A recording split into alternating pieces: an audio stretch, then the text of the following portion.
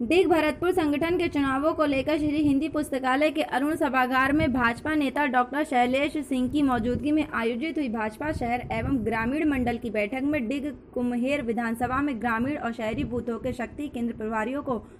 Booth की संगठन रचना के लिए दूसरे बूथ क्षेत्रों में चुनाव अधिकारी नियुक्त किया गया। कार्यक्रम के दौरान पार्टी पदाधिकारियों के साथ पार्टी कार्यकर्ताओं ने पंडित दीनदयाल उपाध्याय की जयंती मनाई। कार्यक्रम में पंडित दीनदयाल उपाध्याय के चित्र के समक्ष दीप प्रज्वलन कर पुष्प अर्पित कर उन्हें याद किया गया। कार्यक्रम के दौरान डिग शहर के 22 बूथों पर बूथ संख्या 6 से 10 पर छैल बिहारी खंडेलवाल बूथ संख्या 11 से 15 पर लक्ष्मी नारायण बूथ संख्या 16 से 20 पर गिरी शर्मा एवं बूथ संख्या 21 से 27 पर गौरव सोनी को चुनाव अधिकारी नियुक्त किया गया।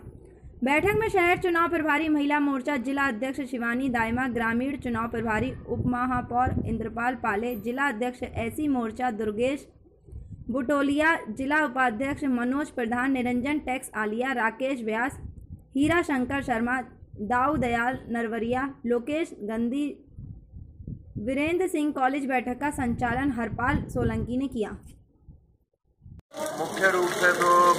भारतीय जनता पार्टी के संस्थापक रहे पंडित दीनदयाल उपाध्याय जी की जयंती के